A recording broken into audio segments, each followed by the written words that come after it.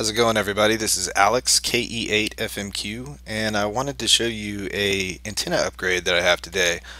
Uh, around Christmas I had quite a few Amazon gift cards so uh, I actually bought this one on Christmas Day and it took about two or three weeks to get here but this is the Diamond NR22L and it is a big antenna. This total length of this thing, we're to say 96.9 inches. That's over 8 feet. Um, this is a full wavelength VHF antenna.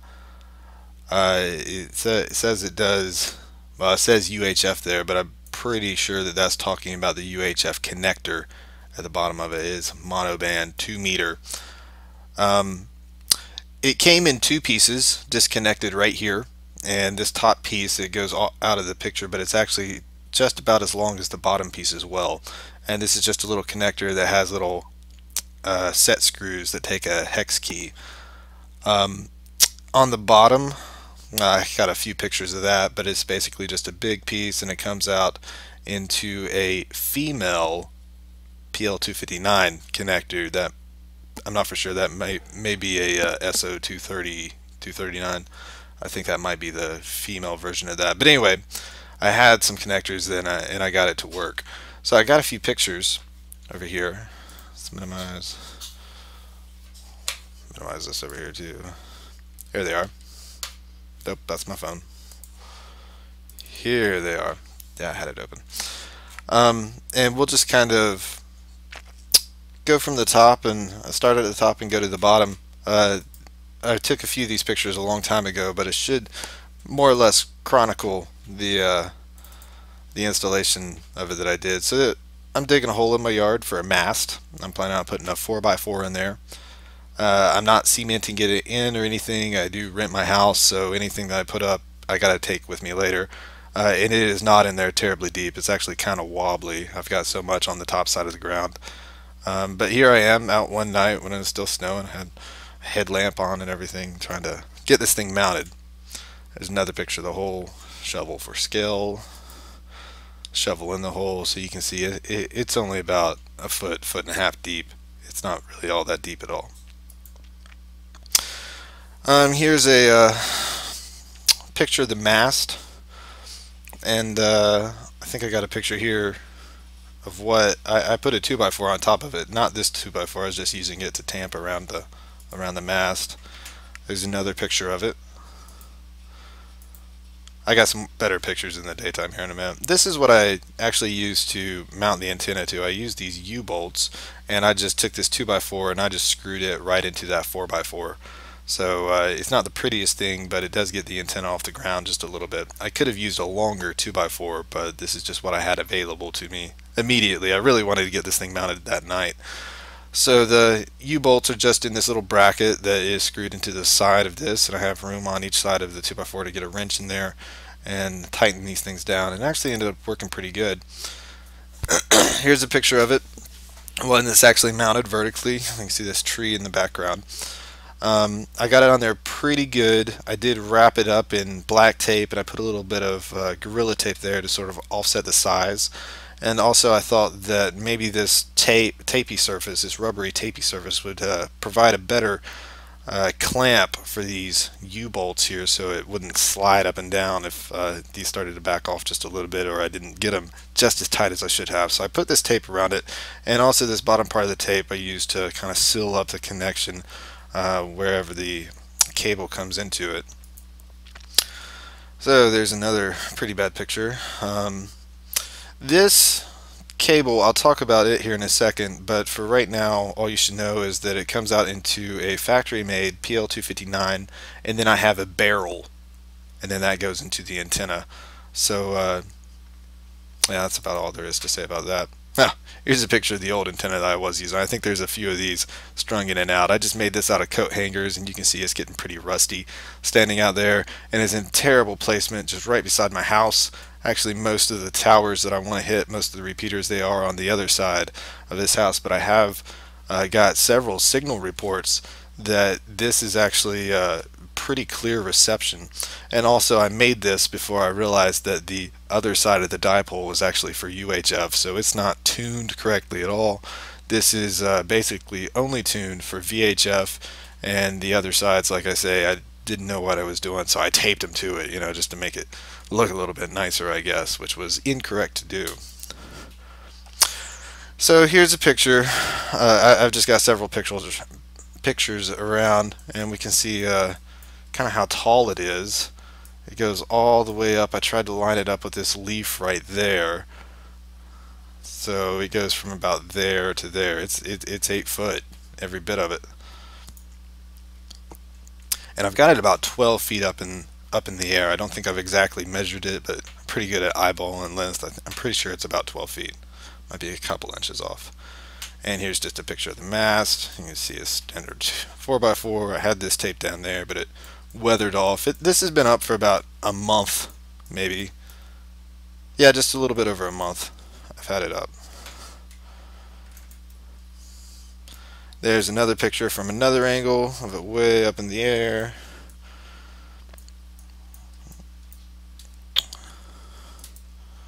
There's another picture. I know this is probably hard to see. It's a another picture, same thing, slightly different angle.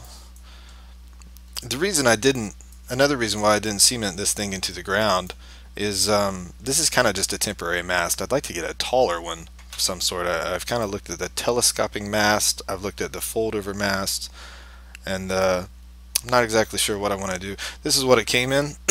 this is about five, maybe five and a half feet long. The antenna came in two two parts, like I said, and uh, this was inside of the tube, and it had two things of uh, crinkled up paper at each end and then I just took the top of it off to get out of it. There's another picture, a couple more pictures. Here's some of the text. I have one more picture. It has 6.5 dB of gain and it is rated for 100 watts um, and it's tuned for 144 megahertz. And there's another picture slightly better. Now I think here's the cable. I bought 100 foot of RG8X and it feels like pretty good cable. It's the first time I've ever bought cable. Uh, I did not need all of the 100 foot so I trimmed away what I didn't need. Um, I would have liked to have made my feed line a lot shorter but actually now I'm estimating that I have about 70 feet of line between my radio and uh, the bottom of the antenna. So that is in no way ideal, especially for VHF. But uh, that's what I got at the moment and it seems to work pretty good. Here I'm connecting up my little UV5R to an SWR meter which in turn goes out into the antenna. Oh, I want to talk about these connectors for a second. I needed one more PL259 connector from where I had cut this cable to go you know, into my radio or whatever device I have. So uh, I thought about buying some. They looked a little bit pricey on the internet, and they were in lots of five, and I only needed one. So I just went right over to Radio Shack, and they had exactly what I needed. They had a twist-on PL259 connector and a solder-on. Whenever I installed this, I wanted to get it up in a hurry, so I said, "Well, I'll put the twist on now, and I'll, you know, put the solder one on later." Um, so the twist on is still on there. I have not replaced it. I got this. Uh, Oh, I think this is a Workman SWR meter. It is, uh, it was about 20 $29, maybe 20 or 29 I can't remember exactly. And it came with this one little patch cable here that was already pre-made, so I've been using that. Um, I, I don't think it's a good SWR meter by any means, but it's what I had at the moment. Um, and here I am testing the SWR. I think I'm doing this right. I think I'm reading it right. I put it on 146.000. I do have an offset already pre-programmed and I didn't bother to take it off. So I'm transmitting on 145.400, um, and it's going into here and what I did is I keyed it up. I set this thing until it was going to infinity while this was on set and then I kicked it over to SWR, got this reading and took a picture of it with my phone and I think that that is a good reading.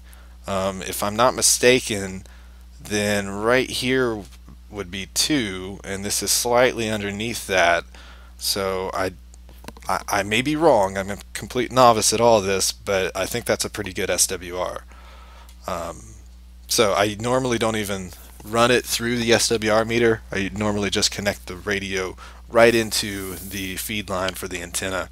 And I am using a UV5R at the moment. I've got a couple of them kicking around here. That's all I have.